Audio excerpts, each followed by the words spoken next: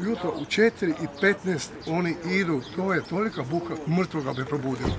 A tu imamo i djecu koje prolaze, i stare nemoćne ljudi. I kad se sretne tu čovjek sa um, svojim osobnim vozilom i sretne sa nekim, recimo, malo veće vozilo, tu vrijedi pravilo bješ dok te nisam pregazio. Manji, slabiji si, bježi na nečiji most, na nečiji prilaz, da bi mi mogli proći.